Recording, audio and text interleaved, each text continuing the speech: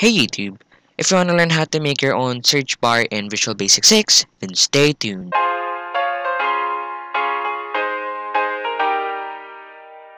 So the search bar in Visual Basic 6 is pretty much simple. You're just going to use the if statement. Anyways, let's head on to Visual Basic 6.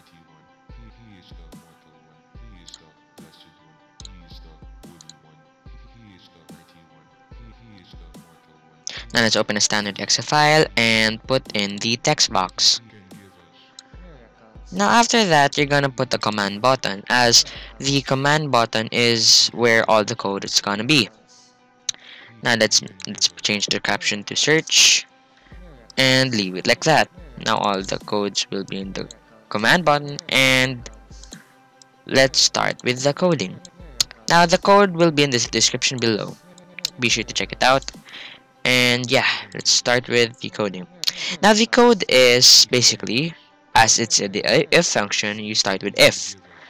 If now the name of the target which is text1 if text1 dot text is equal to let's name it Nadds then message box Nadds.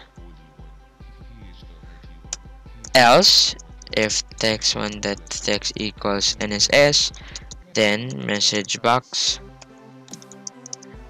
and nss now this is basically the whole code. Actually hold on let, let's put if yeah this is the whole code for a search one. If we're gonna make a profile system it works much as the same way but let's test it out first. So let's type in NSS. There we go, and let's type in Nadds. Yeah. Now, if you're looking forward for the profile system and you don't know how to convert it to that, then let's head on with the. Let's continue with the tutorial. Now, basically, in the profile system, what you do is you get a new form, and let's put this as a caption, just that, as a sim. Let's just make that Hold on, and no coding here. Caption and SS. There you go. Let's name this as. Hold on. Let's name this as NSS, and let's name the other one. Let's name this one Nance.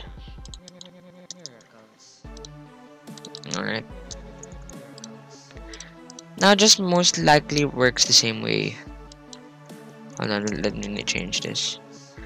Yep. So instead of putting the message box, what you do is make the form load. Now to make the form load, you just make it visible. So you're gonna put Nadds that visible equals true. Now if you want to unload the current form, just put in unload and me means the current form. So that's it same as the second one which is nss that visible equals true. Unload me. Now let's put in a return button here. And use the same code which is unload me and form 1 that visible equals true. Same here